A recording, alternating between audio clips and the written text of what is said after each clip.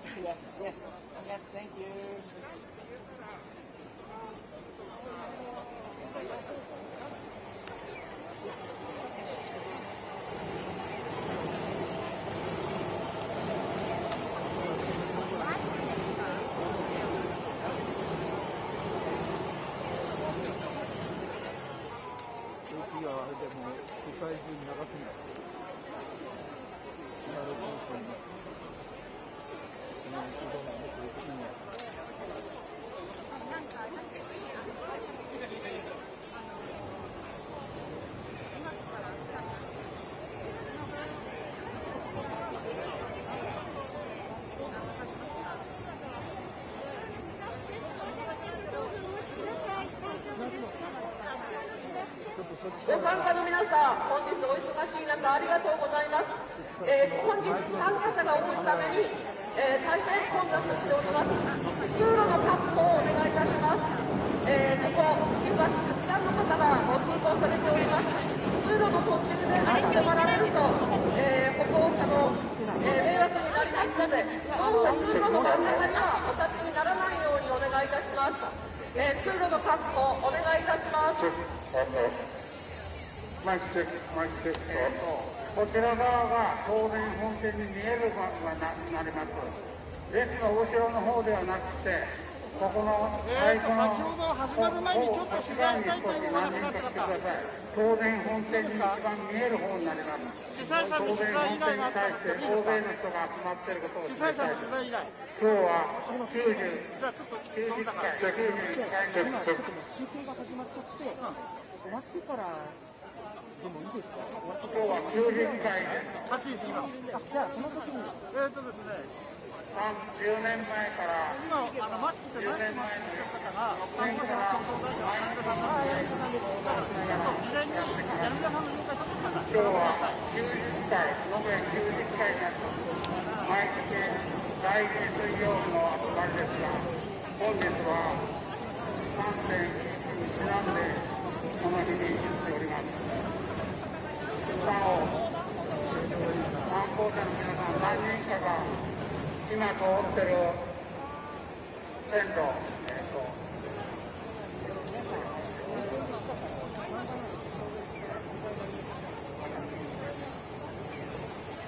えーご参加の皆さん、本日お疲れ様です。えー本日たくさんの方にご参加いただきありがとうございます。通路を確保してください。えー本日の参加者ではなく、ご通行される皆さんが大変多くここはいらっしゃいます。えーご通行の妨害にならないように、どうぞ通路の途中で立ち止まるのはおやめください。えー通路は開けてください。えー通路の確保をお願いいたします。あの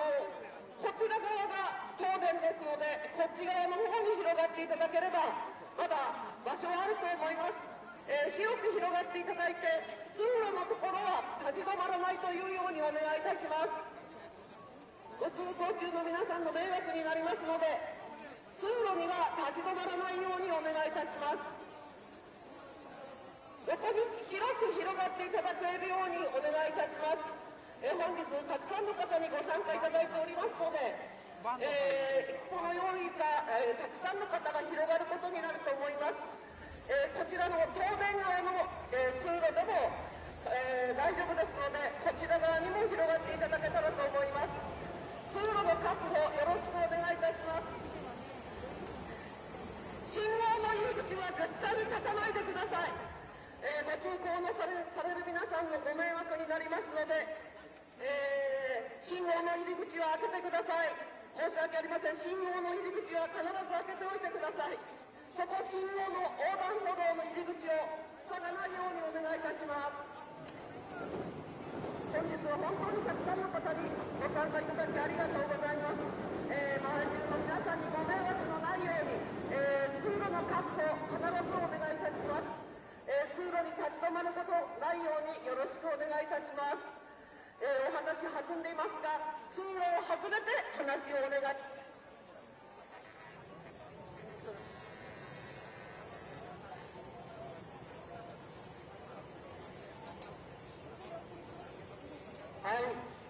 皆さん今日は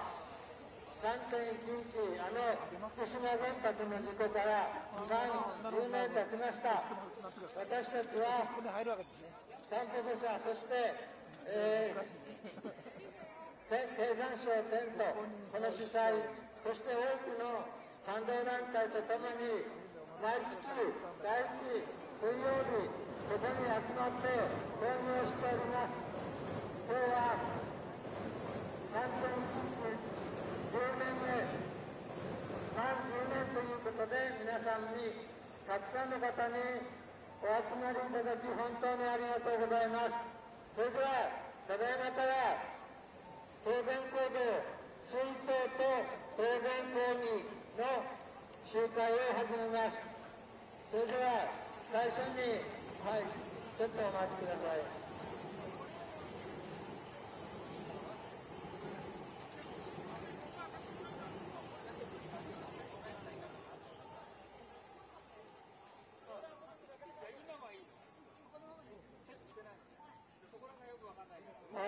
お待たせしました。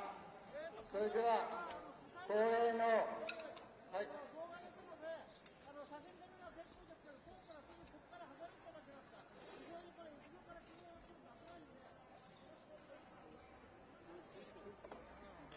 みません、はい、はいコールします。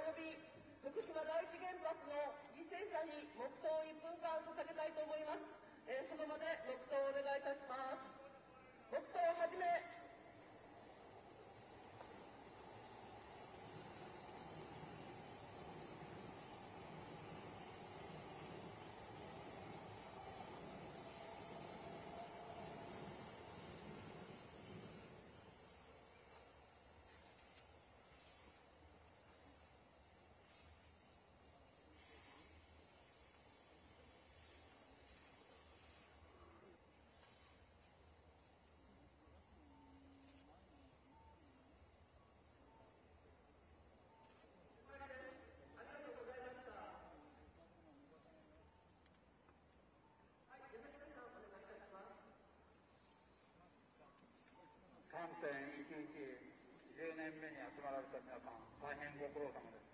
主催者、東京電力本店への共同公務行動、主催者を代表して挨拶します。担当者の柳田杉です。今日は大勢の協力で成り立っております。ここには来れないけど、インターで5000名ぐらいの人に広めてくれた人。これから普段は夜はなかなかこの集会に来ないロナが怖く。でも今日の集会は、一回だけは行くよと、こういう形でのこと。パソコンで登録されてる方、大勢の皆さんのおかげで、この集会が成り立っています。私今ちょっと立ってるこの台もスタッフが無償で一生懸命作ってくれました。東電構造がなぜ必要で大事か2点だけ述べます。一つは東電は世界で初めて3機のあの大事故を起こしました。それをきちんと謝っていません。それから被害者にきちんとした賠償もしていません。今のような態度を続けられると他の電力会社もそれを真似ます。再び大事故が起こってしまいます。こういう東京電力に対して、きちっと被害者に謝り、賠償をし、今後の再稼働を防ぐ、こういうことをきちっとやってもらいたい、こういうことを当然前で申し上げたいわけです。電力会社は自分の本社の前で集会やるのを一番嫌がります。本社の前で私たちの声を上げましょう。そしてその上で、今、今後当然が2つの悪いことを考えています。柏崎刈羽の運転と再稼働と、そしてもう一つは日本原電、東海第二の再稼働。今日はそれらに対して大勢の方からしっかりとしたいい意見を述べていただきます。皆さんと一緒に頑張りましょう。次回は4月の第2日曜日に、失礼、第2水曜日に行います。皆さんと共にこの東京電力に私たちの声を届けましょう。ありがとうございました。第1水曜日です。ごめんなさい。第1水曜日。はい、では続いて、東京女子原告団団長の鴨下さん、お願いします。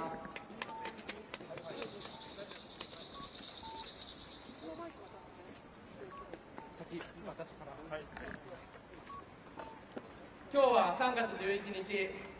僕が生まれ故郷の福島を離れなく離れなくてはいけなくなった日です。10年前の今日もしも福島に原発がなかったら今頃僕はきっと福島の高校で卒業式を迎えていたのだと思います。多分浜通り独特の方言で仲間たちとふざけ合って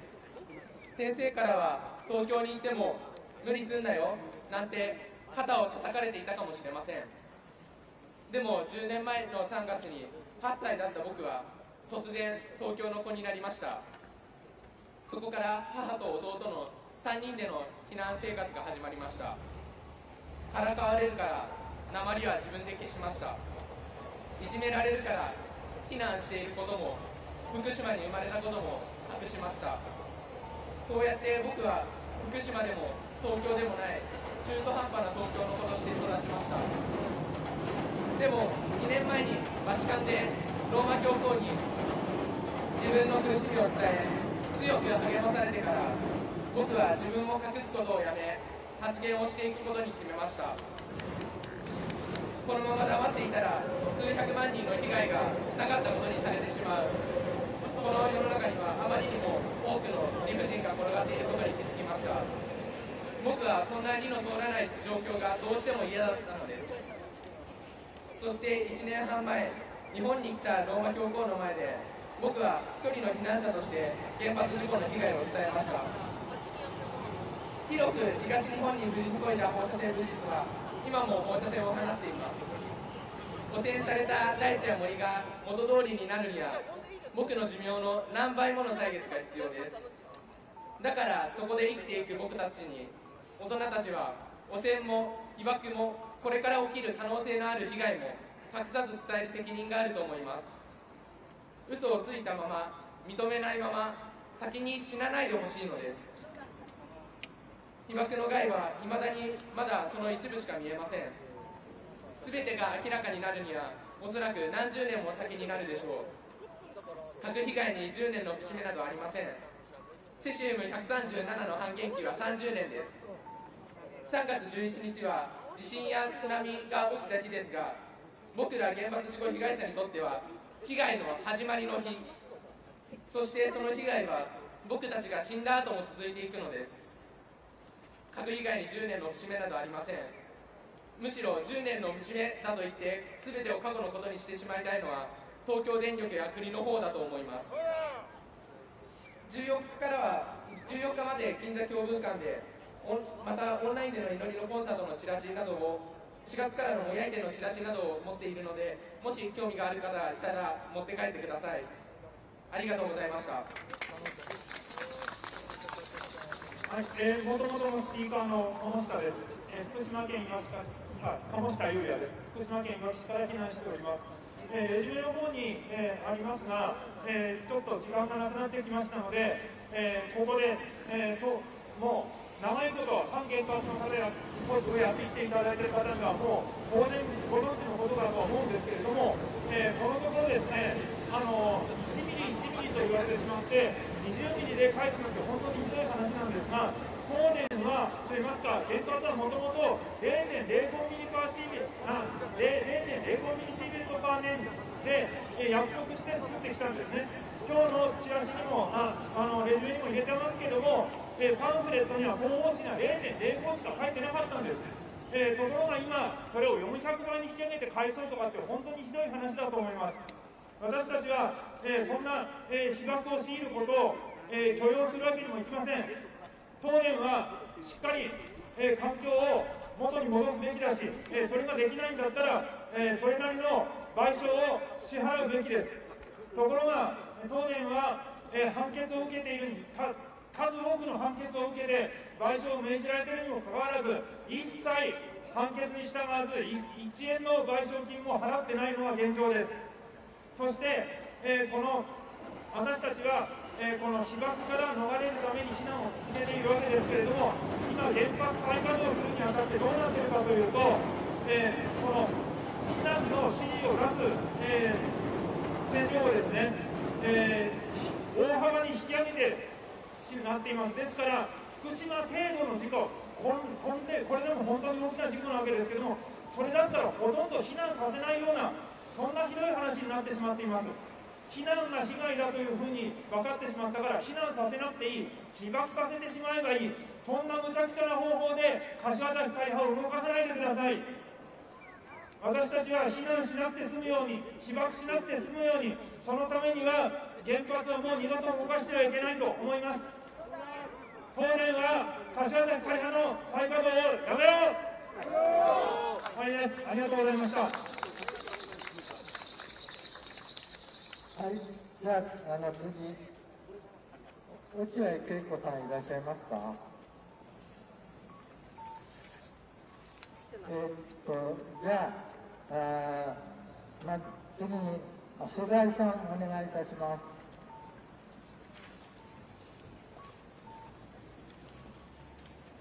ありがとうございます。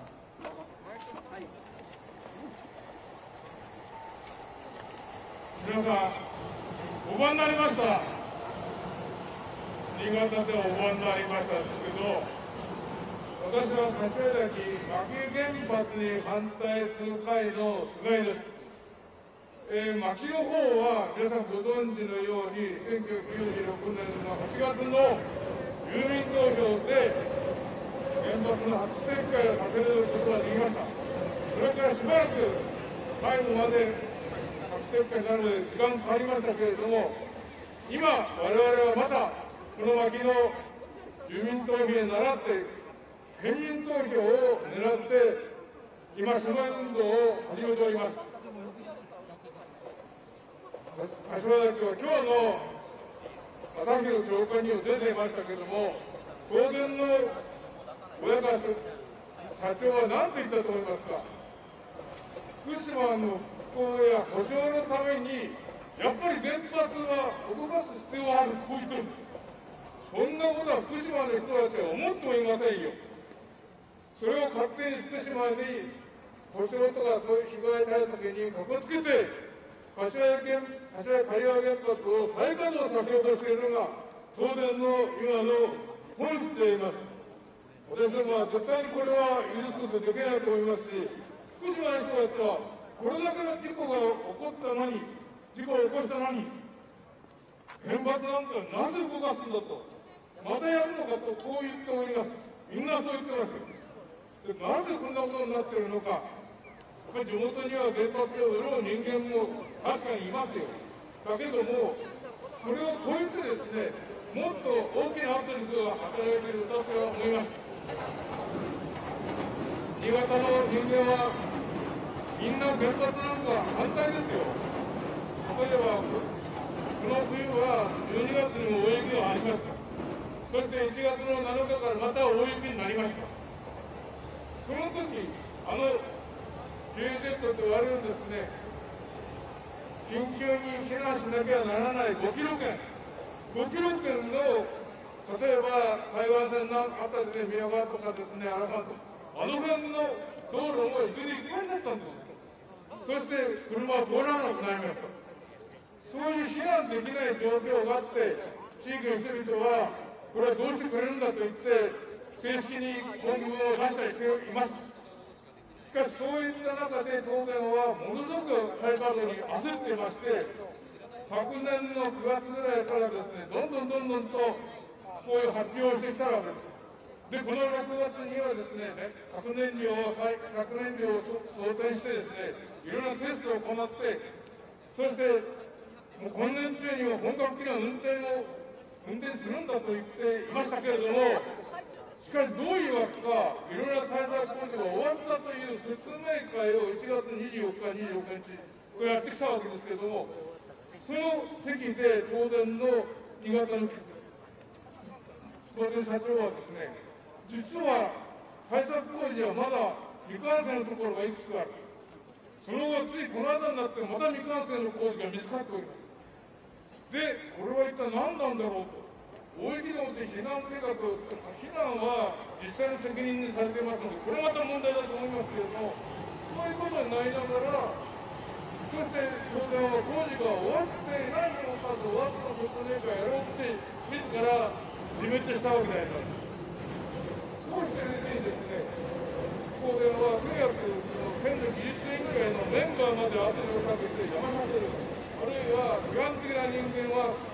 再任をしないというような形ですごいが焦って原発の運転手を作るわけですけれども、ところが、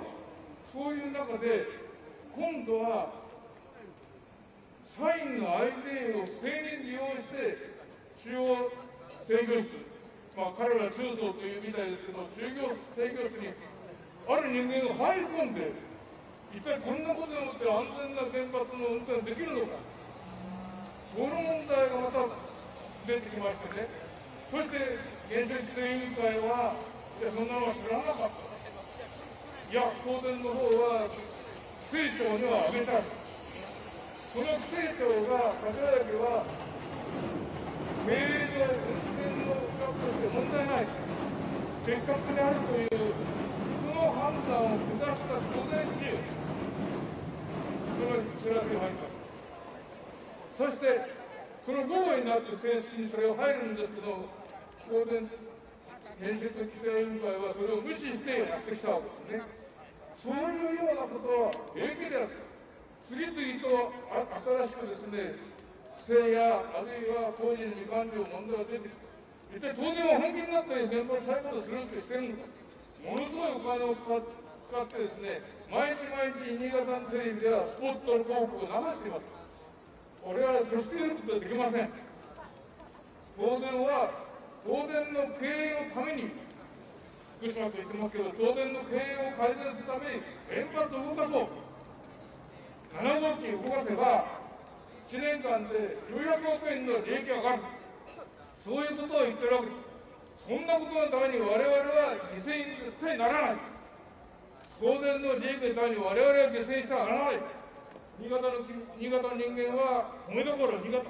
農業圏の新潟であります。そういう中で、当然の応募は絶対許さないという戦いをやっています終わりになりますのでやりますけど今の新潟県知事が当選する2年前の県知事選の時にこう言ったんですよ脱原発社会を目指すそれをスローガンに挙げたのが今の花見花住県知事ですけども彼はそれを簡単に打ち破り捨てようとしているわけですが絶対にそうさせないように我々は断固して戦っていきたいと思いますので皆さんもぜひご協力お願いいたします終わりますありがとうございました。ちょっと業務連絡を伺います。えーと、ステージの横の左側のところに PA がありますから、カンタクトスマホで水ち合わせしてる方来てください。はい、ありがとうございました。それでは、次は、あの、ルポライターの鎌田聡さんお願いいたします。ありがとうございます。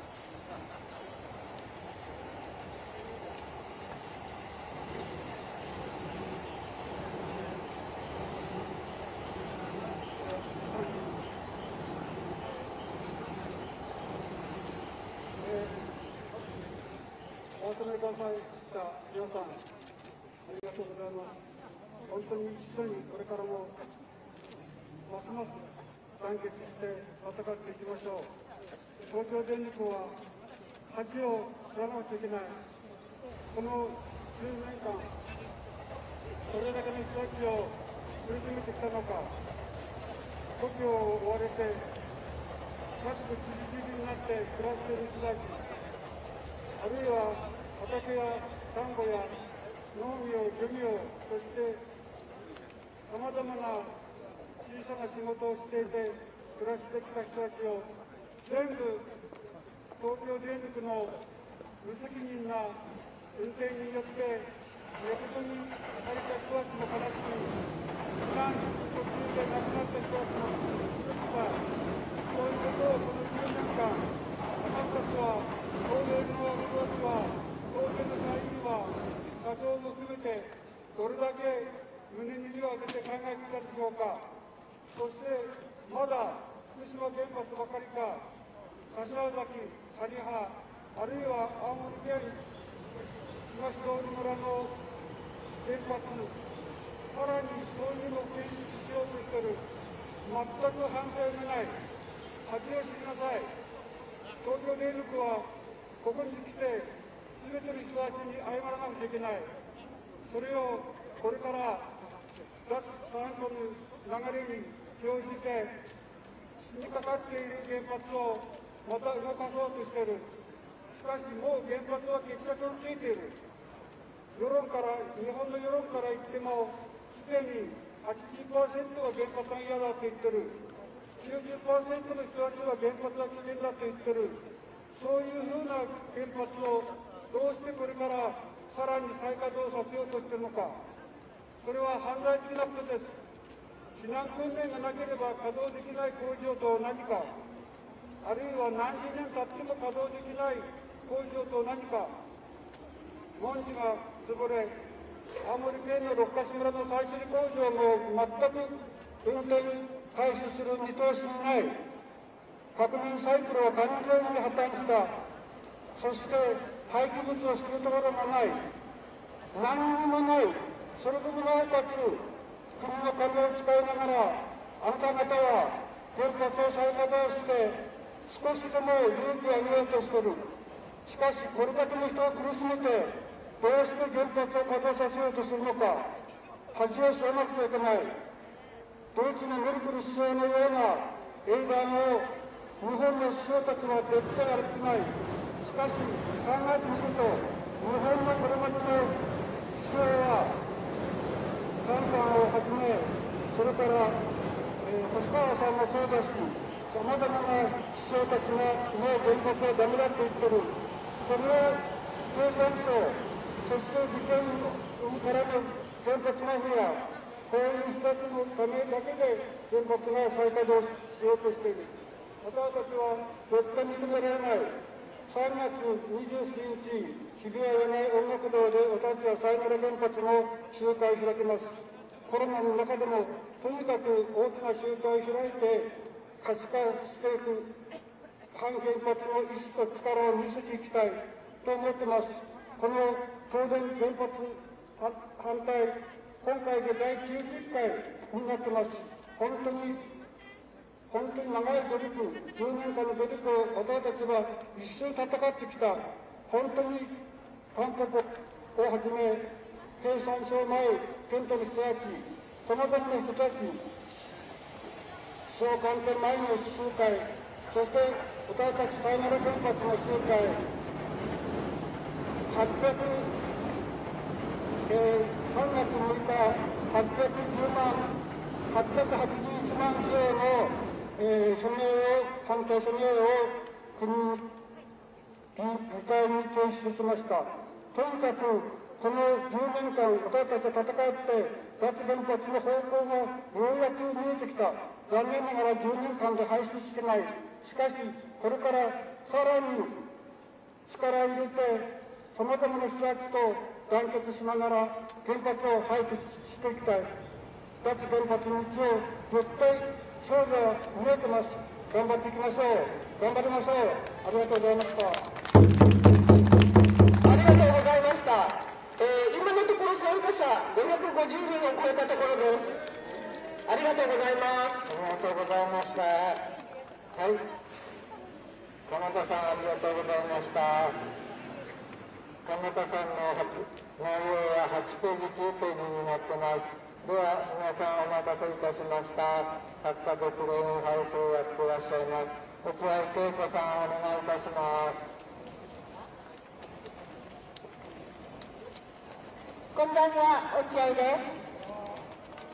10年、いろんなことがそれぞれあったと思います。被災者の方には被災者の方の10年が同じ被災者といってもそれぞれ違う10年があったと思います。あるいは東京で私は暮らしていますが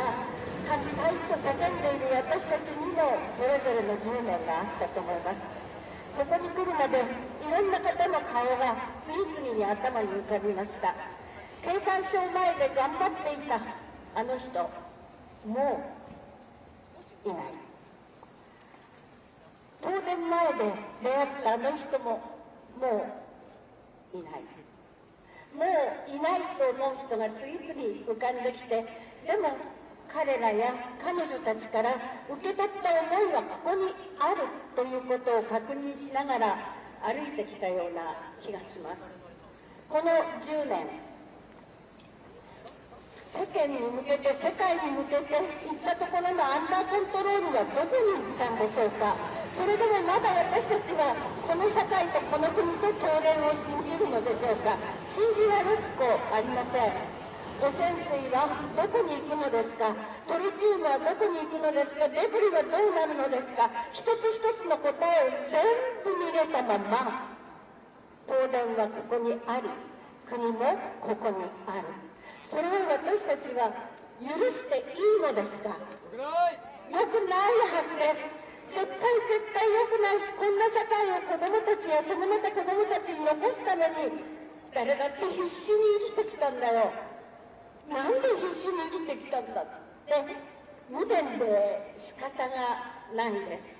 遠い昔まだ私が子供の時でした。原子力と決してイコールにならない平和という言葉をくっつけて原子力の平和利用などというむちゃくちゃな言い方でこの社会を席巻したところのあのコピーを私たちは忘れてはならないはずですね。原子力と平和は核と平和と同じようにイコールにはならないもののはずです。でも国はいつだって嘘ついてきた。今私たちが腹を立てているもう過去のことになっちゃったら悔しいですけれどもあの虚偽や改ざんやあの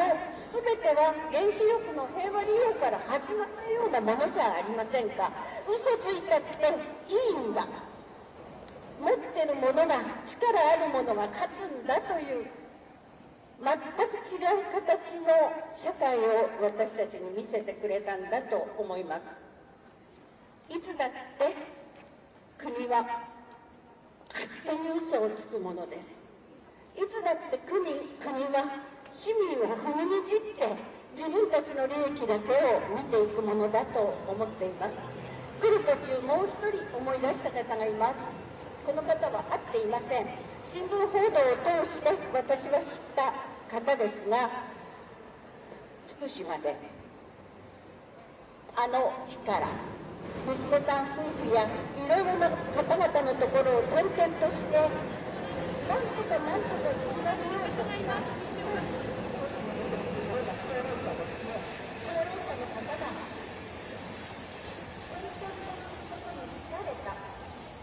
私はお墓に避難しますと書いて自らの命をお家の庭で飼ったその無念さを私たちはどうやって答えていったらいいのでしょう今こそ私たちは答えを出すべきだと思います若い時10代の頃歴史の授業って大嫌いだったんですね一部の選ばれた偉い人間だけが歴史の中に出てきて女たちはいつだって消されて一般市民も消されていった歴史なんか大嫌いだと思って生きてきましたでも今ちょっと変わったんです過去の歴史は変えられないけれどこれからの社会の歴史は私たち一人一人が作れるはずなんですものいわゆる市民はものいわゆる社会を作るだから私たちはしていきましょうおかしいことにはおかしいってちゃんと叫べる大人が少数派かもしれないけれどここにいるよって子どもたちにも示していきたいと思います新しい歴史のための今日を再びの一歩にしませんか？ありがとうございました。沖合恵子さんどうもありがとうございました。はいそれでは、えー、答弁へ申し入れ行います。ご準備お願いします。えー、主催者の方からあのカンパネお願いします、えー、あれからあもう10年経ちます私たちは死ぬ者の類で原発をなくす戦いをやってきました。すいません。始めていいですか？はいです。すいません。時間がないようなので皆さんこれからカンパをお願いします。はい。お待たせいたしました。すいません反原発自治体議員連盟です東京電力ホールディングス株式会社社長小早川智明様。福島第一原発核事故の責任を取り放射能汚染水は全てタンク等で保管してください。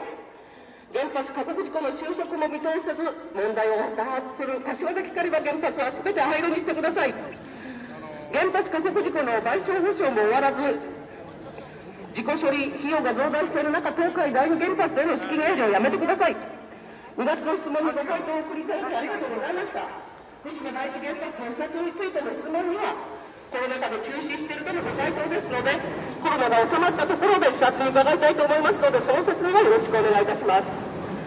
先日2月13日の震度6を超えた地震により格納容器の水位低下圧力低下その上設置されていた地震計が壊れていてデータが取れなかったという報道に驚くほかありません。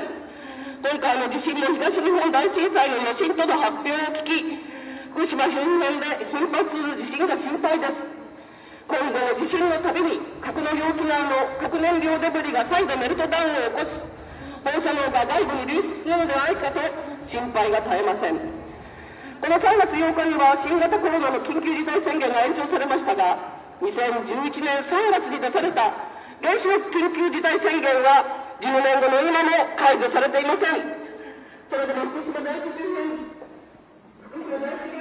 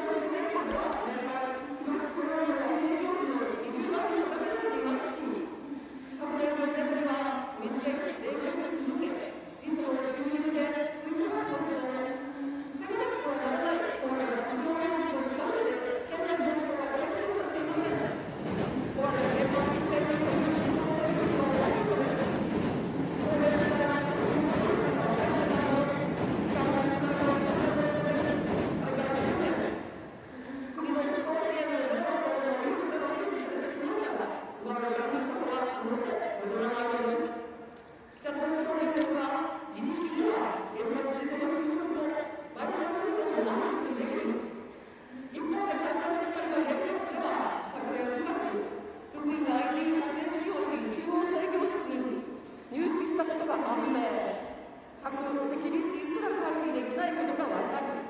原発を稼働できる能力も資格もないこと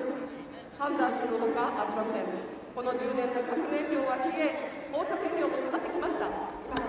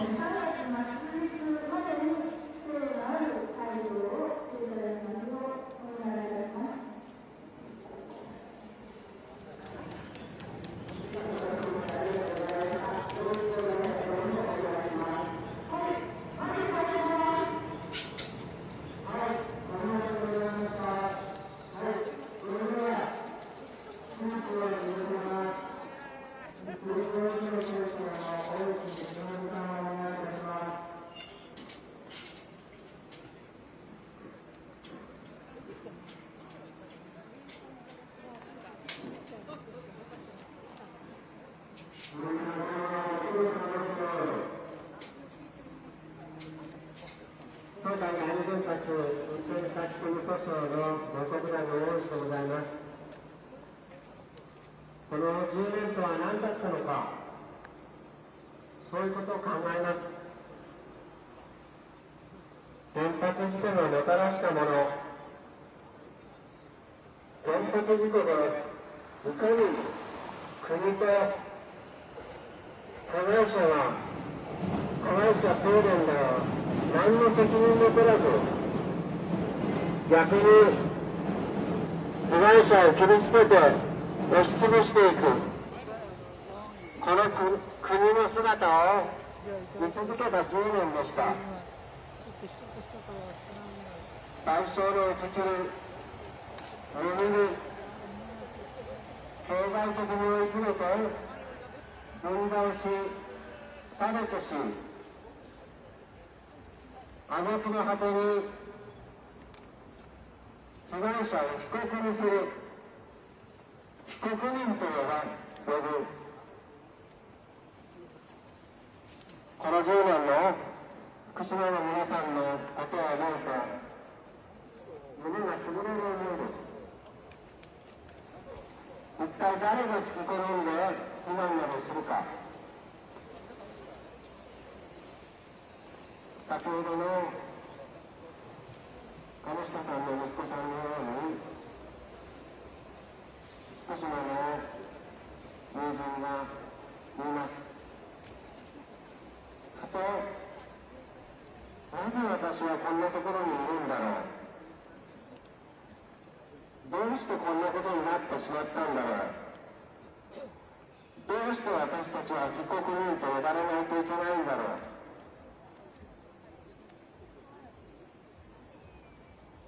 年20ミリシーベルトで避難空気を選別するなどというのは国の勝手な話です被害者の意思被害者の暮らし秩序どこにもありません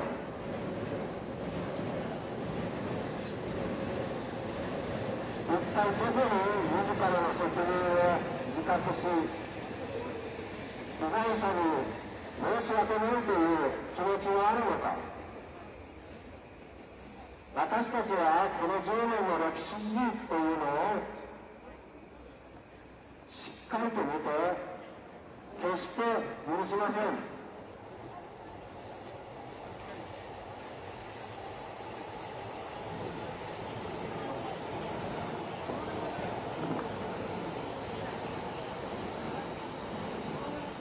日の NHK ETV 特集で自衛隊という幕僚幹部弘中正幸運用部長が10年目にして証言してました。3.11から1週間後の東電官邸自衛隊との非公式会談で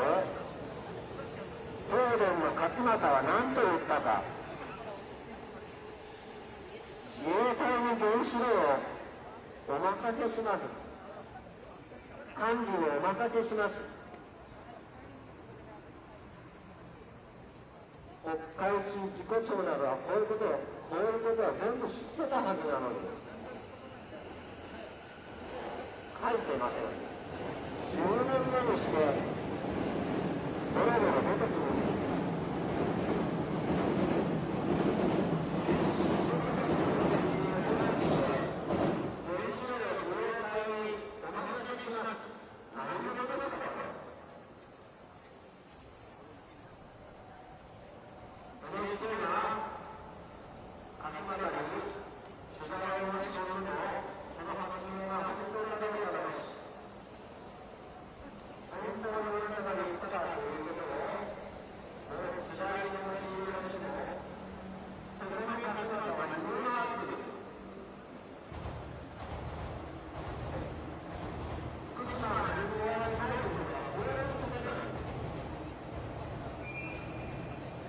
私たちが原発などいらないというのは原発自体の危険性やゴミが核のゴミが手に負えないというそういうことだけじゃなくてこの無責任な国電力資本が再稼働など口にする資格がないということを言っているんです。事実をと責任を明らかにし被害者の暮らしと尊厳を取り戻すことこれなくして福島事故を国民的歴史の教訓として次の世代に引き継ぐことはできません。私たちは2012年地元茨城と首都圏の皆さんで東海第二原発の運転差し止め訴訟を起こしました。東海第二原発はこの犯罪者東電が子会社日本原電を使って原発を動かそうとしている。で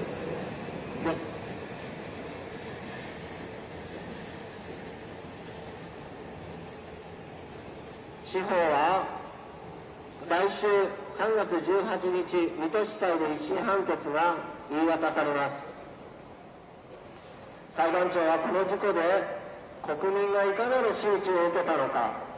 そして何ら責任も明らかにされずに葬りに去ろうとするこの国にあって再稼働することが再び何をもたらすかしっかと考えて判断してほしいと思います。それは福島の皆さんが同じ思いをさせたくないというせめてもの願いこれに報いる判決でなければなりません。勝っても負けても控訴審になって戦いは続きます。しかしこの悔しい許さざれず許さざれる10年をかみしめながら次の10年に向けて私たちも首都の原発を止める戦いで皆さんと共に頑張りますのでどうぞよろしくお願いいたします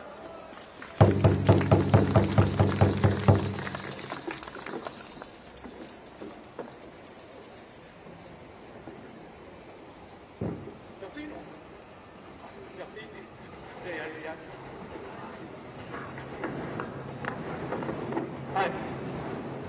皆さんご苦労様です。えー、これでちょっとお時間がとられて、えー、アピールしたいことがあります。実は福島の汚染水の海洋放出、これが昨年決定されようと。しかし反対の方で今とどまってますけども、この事態を受けて、韓国では非常にこの汚染水の海洋投棄に対して危機感を持って、これ絶対許されないことじゃないかという大きなこれが韓国で上がってる。で、今回の産出に関して、韓国側から、非常にこの、まずは汚染水海洋へ大きな反対で、なんか一緒にやらないかという、えー、話がありました。そこで、一応、実行委員会等でお願いして、じゃあとりあえず、お互い宣言を出して、栄養交換をして、そして、何かできるか、その第一歩にしようがないかということになりましたので、えー、ここでその宣言文を読み上げていきたいと思います。えー、つ通訳はあのアジア協力報道日本連のサブトスに頼みましたので、えー、直接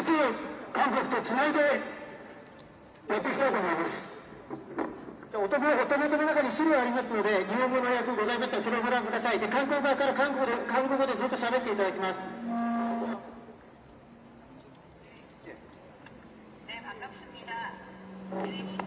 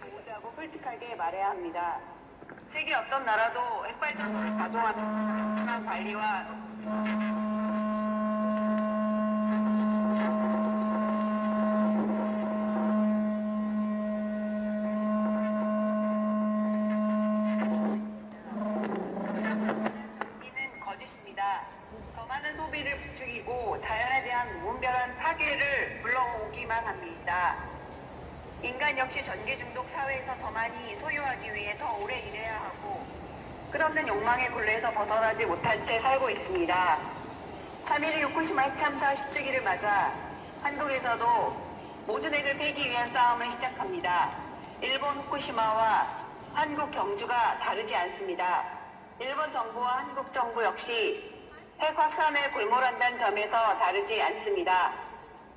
코로나가 전 세계가 연결되어 있음을 일깨워 주었듯이 핵발전과 핵무기를 폐기하기 위해서 한국과 일본, 나아가 전 세계가 연대해야 합니다.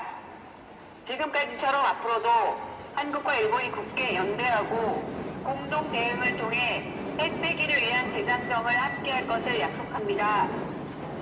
핵발전과 핵무기는 하나다. 모든 핵을 폐기하자. 핵발전소 없어도 산다. 핵발전소 없어야 산다. 후쿠시마 방사능 오염수를 해양으로 방류하지 마라.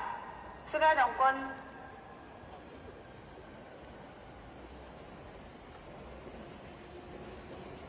당장 취소하라. 문재인 정권은 핵발전소 그만 짓고